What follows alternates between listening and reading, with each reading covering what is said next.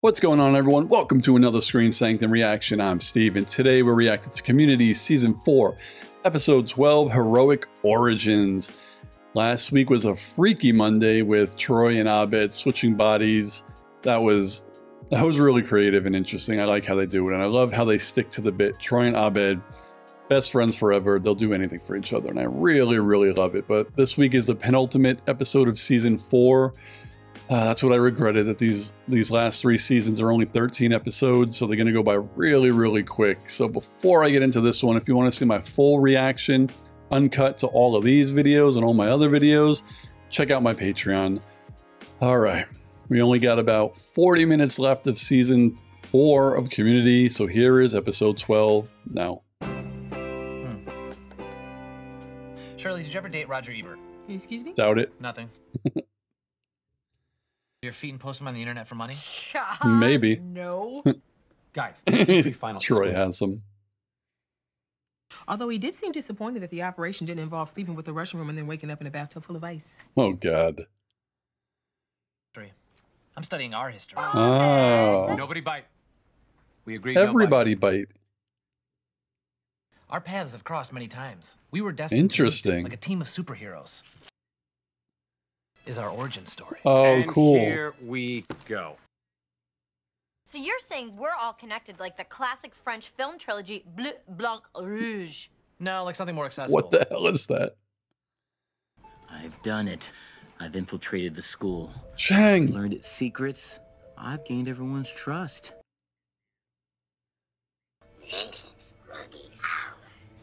Okay, can you stop that? It really creeps me out. He's got a voice changer. Once I find the last one or two missing pieces, I'll have conclusive proof that we were all destined to meet. This This should be interesting. But there's no way you're gonna get me to believe there's some outside force controlling my destiny. Oh, everybody's seen Star Wars. Yes. Pretty much. You first saw it when it was re-released in 1982 at the Greendale Palladium at 4:15 in the afternoon. How the hell? How did you know that? You keep this ticket stub in your wallet. I bet you can't. He pickpocketed him? Give it back! what? Of a lost era. 2008. 2008. 2008. Oh shit, this is so cool. How do I balance straight A's, extracurriculars, and Israeli folk dancing every Friday night? And Oh, nerd Annie. Uh, a lot of her medication. So I heard you weren't doing that great in algebra, and you know, if you need a tutor, I don't have time for math. The Oh, only thing that matters to me are statistics. uh, that's also a type of math. Yeah, I don't remember her at all. We should probably drop this. Wait, where's Pierce on this chart? Sounds like he contribution to the group remembers her a lot. We were at the mall on the exact same day. Shirley, do you remember what you bought for $54 at the Love Hut? What? Oh. Well, I may have an anniversary surprise for you too. Uh oh. You know you gonna get it, right? You gonna get it. Abed was just standing there. Mail call. Oh, That's all right. Won't be needing it today. But Mm-hmm. it's a critical document. See, Greendale sublets our land from the Arapaho Nation. Oh shoot. It's a renewal faster than you can say wounded knee. Gavin. Don't give it to I cannot resist those puppy dog eyes. Ladies and gentlemen, Greendale Resort and Casino presents Steve Winwood. What? This is me and my anarchist collective at the courthouse. we called ourselves the Anarchists. What? I'll give you eyes up. Chef, my man. oh, this is a great cameo. Come on, let's go. Thank you. Thank you for defending a woman's right to use her body however she Oh my chooses. god. We have got to capitalize on this. I remember momentum. those nose It is rings. time anarchist finally takes a stand on animals' rights. Well, I was a really good lawyer. Misty is the stripper that Andre cheated on me with, and you defended her. Oh shoot. If you hadn't gotten that whole It person all connected. Andre never would have met her. I told you we were always destined to meet. a tragic event and Abed's just smiling. My marriage almost ended. If it weren't for Mm. Jeff, that Jezebel would have been in jail instead of between my Laura Ashley sheets. Fault. And by the way, the case didn't work out too great for me either. Michael Phelps, really? And it doesn't affect his breathing? No? And there's this rumor going around the firm that he never received an undergraduate degree. uh, I mean, some jag is obviously Serious jealous of your origin. Star. I almost lost my family. How does your little tragedy even compare? that's still not Jeff's fault. I had to go to school here. Abed, do not write that down. I mean, I'm finally willing to forgive Annie for ruining high school. Wait, I ruined your time in high school? Yeah. Ooh, how? My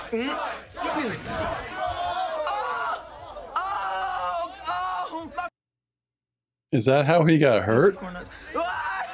No! what? No! Me. And you already admitted that you faked that injury because you couldn't take the pressure of those football recruiters. you didn't even remember that I went to school with you. I may have lied about that too.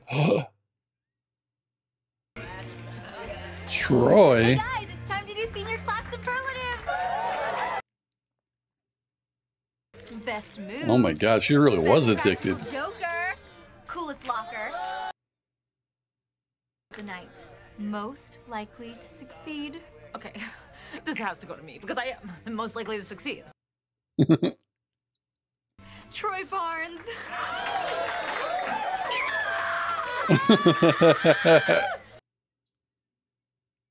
Do you go to my school?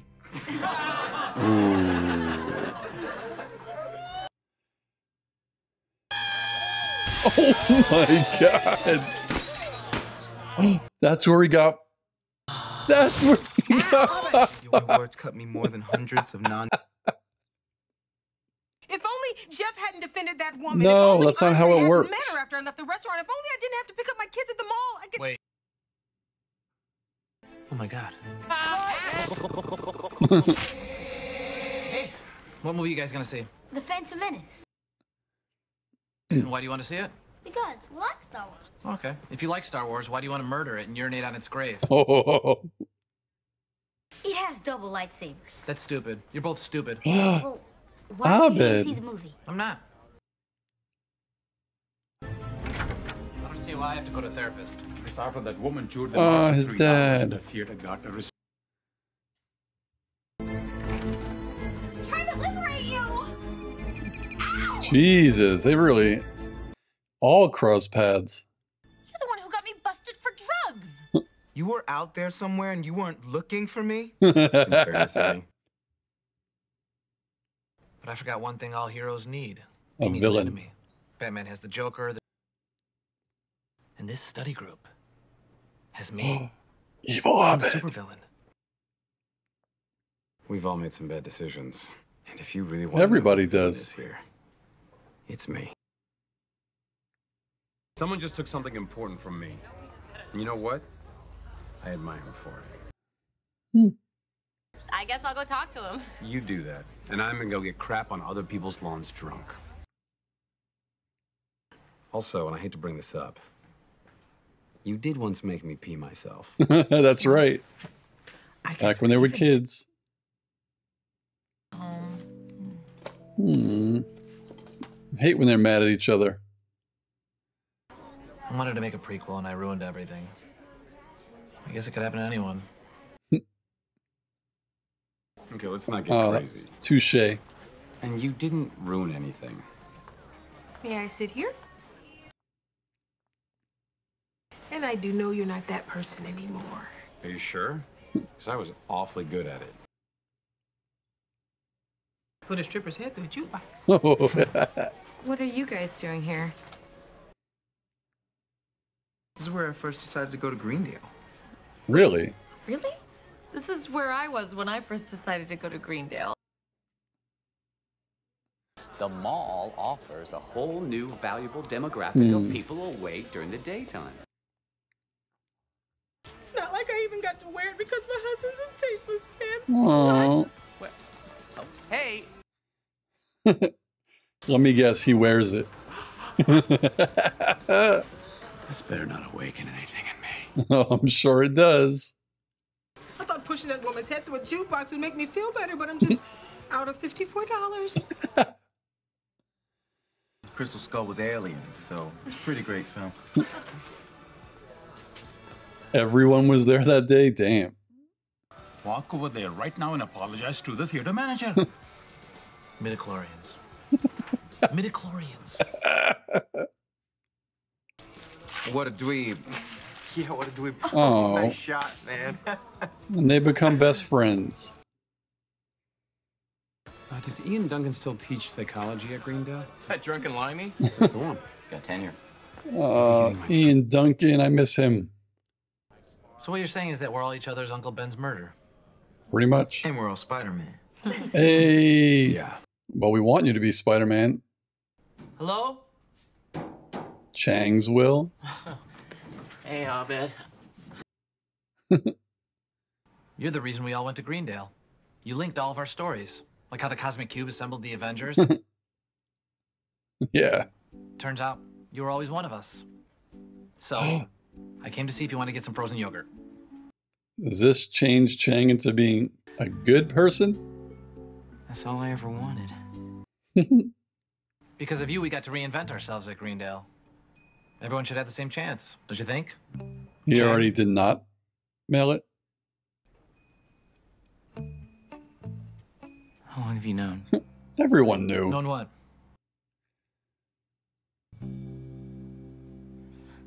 It's what you want, Chang. It's what you want.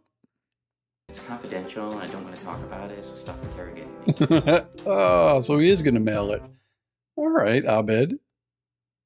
I'm out. Oh. I changed my mind. Damn, Chang. Or does it? It's funny how they make him look like Gus Fring, the way he dresses. oh, is it going to be another paintball? Wait, solar power information delivery. What in the hell is that? So this episode was I mean, it was very like coincidental. Like all of that to happen is pretty far fetched, but it was really funny. All I've been wanting to do was a good thing and explore, um, you know, link all of them in a cool way. Oh, how did we all get here? We're all intertwined. This is our origin story.